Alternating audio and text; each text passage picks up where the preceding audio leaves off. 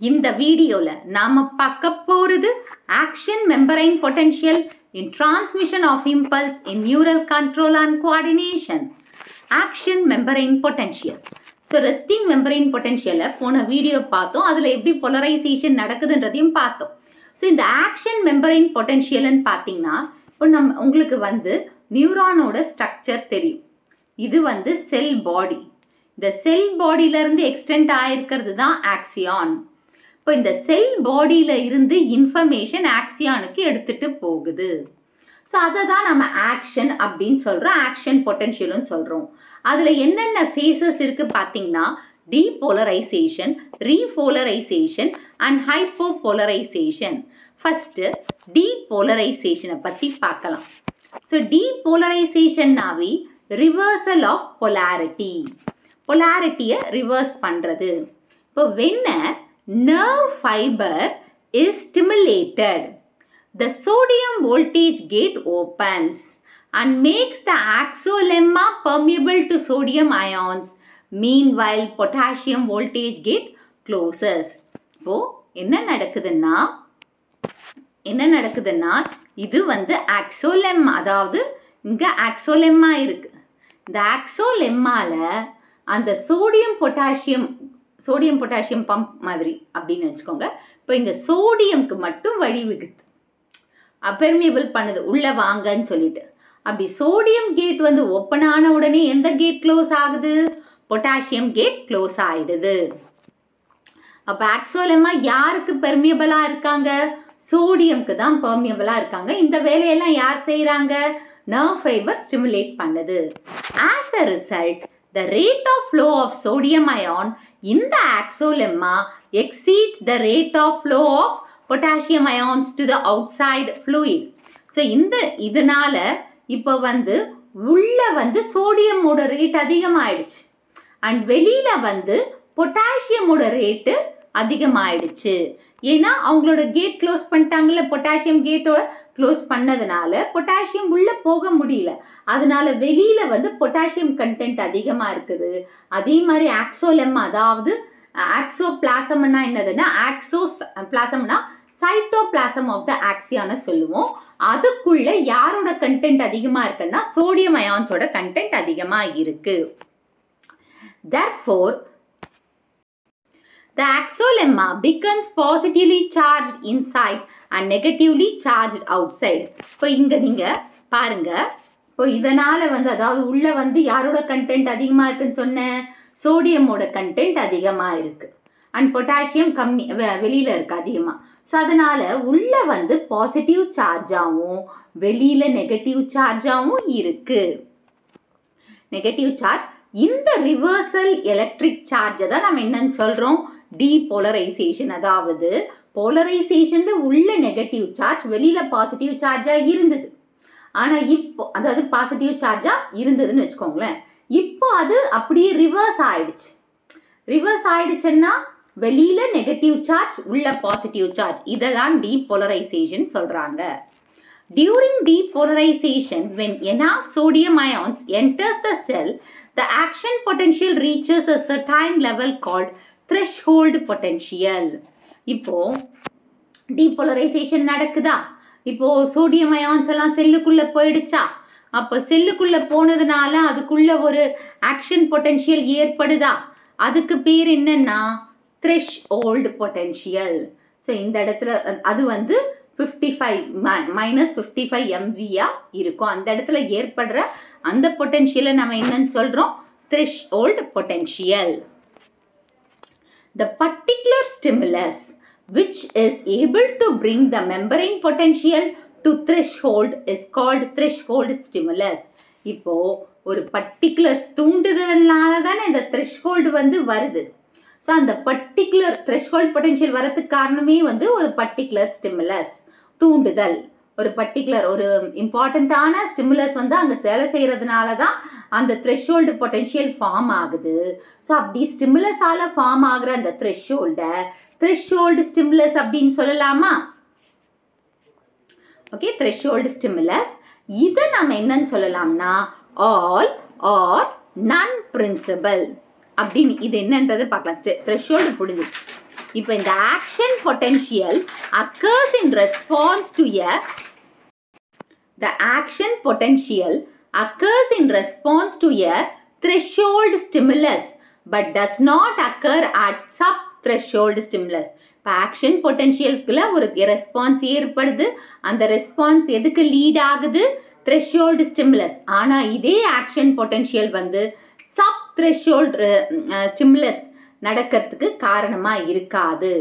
So அப்படிப்பட்ட இதை தான் நம்ம என்னன்னு சொல்கிறோம் all or none principle first வந்து ஒரு பர்டிகுலர் ஸ்டிமுலஸ் வந்து ஏற்படுது அந்த மெம்பரைனில் பொட்டென்ஷியலில் அப்படி பர்டிகுலர் ஸ்டிமுலஸ் வந்து த்ரெஷோல்டால் மெம்பரைன் பொட்டென்ஷியலில் ஏற்படுறதுனால த்ரெஷோல்டு ஸ்டிமுலஸ்ன்னு பேர் யா பேர் வந்துடுச்சு. பேர் கொடுத்துட்டோம். அதாவது த்ரெஷோல்டு ஸ்டிமுலஸ்ன்னு சொல்லியாச்சு. இப்போ இந்த ஆக்ஷன் பொட்டென்ஷியல் வந்து ரெஸ்பான்ஸ் டு த த்ரெஷோல்டு ஸ்டிமுலஸாக இருக்குது நடக்கிறதே வந்து த்ரெஷ்ஹோல்டு ஸ்டிமுலஸால தான் ஆக்ஷன் பொட்டென்ஷியல் வருது. ஆனால் இதே ஆக்ஷன் பொட்டென்ஷியல் வந்து த சப் த்ரெஷ்ஹோல்ட் ஸ்டிமுலஸில் நடக்காது அக்கர் ஆகாது ஸோ அப்படிப்பட்ட இதை நம்ம என்னன்னு சொல்லலாம்? ஆல் ஆர் நன் பிரின்சிபல் இது டூ மார்க்கில் கேட்கலாம். Due to rapid influx sodium ions, the membrane potential shoots rapidly up to positive 45 millivolt அதாவது plus forty five millivolt which is called spike potential இப்போ நிறைய சோடியம் அயான்ஸ் வந்து ஆக்சோலமாக்குள்ளே இருக்கிறதுனால அந்த membranes வந்து ரேப்பிடாக ஷூட் ஆகுது. அதாவது forty five MV plus forty five எம்பிக்கு வரையும் போகுது. அதை தான் நம்ம என்னன்னு சொல்கிறோம் ஸ்பைக் பொட்டென்ஷியல் ஸோ அந்த மேலே இங்கே இருக்கு இல்லையா? அந்த ஆக்ஷன் பொட்டென்ஷியலில் மைனஸ் அதாவது ப்ளஸ்ஸு ப்ளஸ்ஸுன்னா இன்னும் மேலே. அந்த ப்ளஸ் ஃபார்ட்டி ஃபைவ் வரையும் அங்கே அதிகமாக இருக்குது ஏன் அதிகமாச்சுன்னு ஆச்சுன்னு ஆச்சுன்னா அந்த ஆக்சோலெம்மாக்குள்ள எது அதிகமாக இருக்குது சோடியம் அயான்ஸ் அதிகமாக இருந்ததா? அந்த சோடியம் அயான்ஸ் அதிகமாக இருக்கிறதுனால அதோட மில்லி வோல்ட் எவ்வளவா வருது? ரேப்பிடாக ஷூட் பண்ணுறதுனால பாசிட்டிவ் அதாவது ப்ளஸ் ஃபார்ட்டி ஃபைவ் மில்லி வோல்ட்டாக இருக்குது இப்படி இருந்ததுன்னா அந்த மெம்பரேன் பொட்டென்ஷியலில் அதிகமாக சோடியம் அயான்ஸ் இருந்ததுன்னா அது யாரை ஷூட் பண்ணுது? எவ்வளோ மில்லி வோல்ட்டுக்கு அந்த எலக்ட்ரிக்கல் இம்பல்ஸை உருவாக்குதுன்னு பார்த்தீங்கன்னா positive that is plus forty five MV இதை நாம் ஸ்பைக் பொட்டென்ஷியல்னு சொல்லலாம். நெக்ஸ்ட் ரீபோலரைசேஷன் இப்போ நீங்கள் வந்து இதில் பார்த்துருக்கீங்கல்ல இந்த கிராஃபில் இந்த கிராஃபில் வந்து டீபோலரைசேஷன் வந்து ரே ரைசிங்காக போகுது.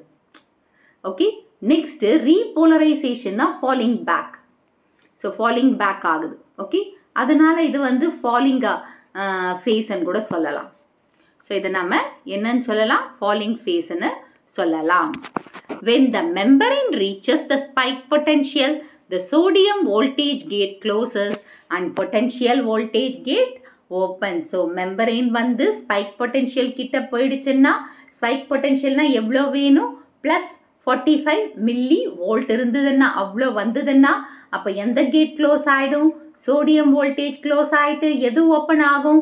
பொட்டாசியம் வோல்டேஜ் கேட் ஓப்பன் ஆகிடுச்சா it checks the influx of sodium ions and initiates the efflux of potassium ions which lower the number of positive ions within the cell இப்போ இது வந்து இந்த ரீபோலரைசேஷன் வந்து செக் பண்ணுதான்.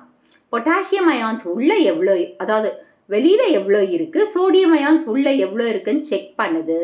அப்படி செக் பண்ணும்போது யாரோட level வந்து கம்மியாகிற மாதிரி இருக்குது செல்லுக்குள்ள பாசிட்டிவ் அயான்ஸோட லெவல் வந்து லோயர் டவுன் அதாவது கம்மியாகுது. ஸோ இப்போ பொட்டென்ஷியல் வந்து ஃபால் பேக் அதாவது ரெஸ்டிங் பொட்டென்ஷியலுக்கு போகுது.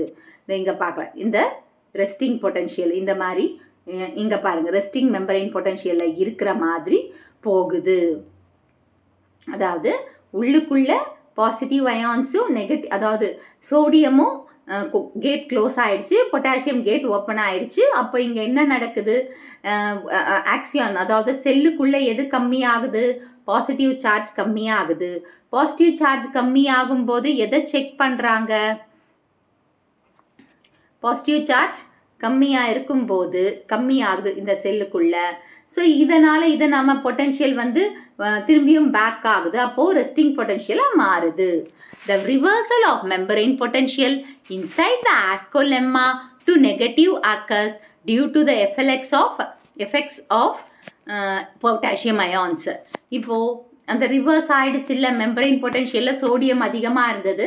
ஆனால் இப்போ ரிவர்ஸ் ஆகிடுச்சு பொட்டாசியம் அதிகமாக இருக்குது எஃப்எல்எக்ஸில் பொட்டாசியம் அதிக அதிகமாக இருக்குது ஆஸ் ஆக்சோலெம்மாவில் நெகட்டிவ் அயான்ஸ் நிறைய நிறைய இருக்குது நெகட்டிவ் அயான்ஸ் அப்போ இது என்னது? Repolarization next hyperpolarization if repolarization become more negative than the resting potential இந்த resting பொட்டென்ஷியலோட வேல்யூ வந்து மைனஸ் செவன்ட்டி மில்லி வோல்ட்டாக இருக்கணும். To about minus 90 millivolt. This is called hyperpolarization. இப்போ ரெஸ்டிங் பொட்டென்ஷியலை விட நெகட்டிவ் அயான்ஸ் அதிகமாக இருந்துச்சுன்னா ரீபோலரைசேஷனில் அதாவது ரெஸ்டிங் பொட்டன்ஷியல்னா மைனஸ் செவன்ட்டி மில்லி வோல்ட்டில் இருக்கணும் அதை விட அதிகமாக இருந்துச்சுன்னா அதாவது more than nine minus ninety எம்வியாக இருந்துச்சுன்னா அது ஹைப்பர் போலரைசேஷன் ஹைப்பர்னாவே ஹையாக இருக்கிறது during this potassium ion gates are more permeable to potassium potassium even after reaching the threshold level as it closes slowly hence called as lazy gates. இப்போ வந்து potassium வந்து நிறைய உள்ளே போக ஆரம்பிச்சிடுச்சு. பெர்மியல்னா அலோவ் பண்ணிடுச்சு. ஆக்சுவலமாக அலோவ் பண்ணுச்சு. அப்படி அலோவ் பண்ணிகிட்டே இருக்கும்போது கூட அந்த பொட்டாசியம் லெவல் வந்து அதிகமாக இருக்குது லெவல் அதிகமாக இருக்குது போதும் க்ளோஸ் பண்ணால் அது ரொம்ப ஸ்லோவாக தான் க்ளோஸ் பண்ணும். பொட்டாசியம் வோல்டேஜ் கேட்டட் ஏன்னா அவங்க லேசி கேட்ஸ்ன்னு பேர். ஏன்னா ஸ்லோவாக க்ளோஸ் பண்ணுறதுனால கொஞ்சம் lazy gates The membrane potential returns to its original resting state when potassium ions close completely இப்போ இந்த மெம்பரைன் பொட்டென்ஷியல் திரும்பவும் ஒரிஜினல் ரெஸ்டிங் ஸ்டேட்டுக்கே போயிடுச்சு. ரெஸ்டிங்லேயே போயிடுச்சு. அப்போது பொட்டாசியம் அயான்ஸ் வந்து க்ளோஸ் ஃபுல்லாக க்ளோஸ் ஆகிடுச்சுன்னு அர்த்தம். During hyperpolarization the sodium voltage gate remains closed. ஹைப்பர் போலரைசேஷன்னாவே யாரோட கேட் க்ளோஸில் இருக்குது சோடியம் ions-ஓட கேட் க்ளோஸ்லேயே தான் இருக்குது ஸோ இந்த மாதிரி ஒரு கண்டிஷன் இருக்குது கிராஃபில் நீங்கள் பார்த்தீங்கன்னா ஃபஸ்ட் இருக்கிறது வந்து ரெஸ்டிங் பொட்டன்ஷியல் அந்த ரெஸ்டிங் இருந்து போலரைசேஷன் நடக்குது. போலரைசேஷன் நடந்த பிறகு டீபோலரைசேஷனில் நம்ம த்ரெஷ்ஹோல்டை பார்க்க முடியும். ஸோ த்ரெஷ்ஹோல்டுன்றத அது ஆக்ஷன் பொட்டன்ஷியலாக இருக்குது ரீபோலரைசேஷனுக்கு திரும்பி வருது. ஸோ ரீ ரீபோலரைசேஷனுக்கு அப்புறம் முடிஞ்சது வந்து ஹைப்பர் போலரைசேஷன் அது வந்து ரெஸ்டிங் பொட்டன்ஷியலாக இருக்குது அதுதான் இங்கே வந்து ரெஸ்ட் ரீஃப்ராக்டரி பீரியடாகவும் இருக்குது அப்படின்னு சொல்கிறாங்க ஸோ இந்த வீடியோ உங்களுக்கு பிடிச்சிருக்கும் புரிஞ்சிருக்கும்னு நினைக்கிறேன். இந்த வீடியோ உங்களுக்கு பிடிச்சிருந்தா ஒரு like share subscribe to Science Easy Tech channel என்னோட பழைய வீடியோ லிங்க் டிஸ்கிரிப்ஷன் பாக்ஸில் கொடுத்துருக்கேன். நீங்கன்னா போய் பாருங்கள் ஏதாச்சும் டவுட்ஸ் இருந்தால் கமெண்ட் பாக்ஸில் போடுங்க.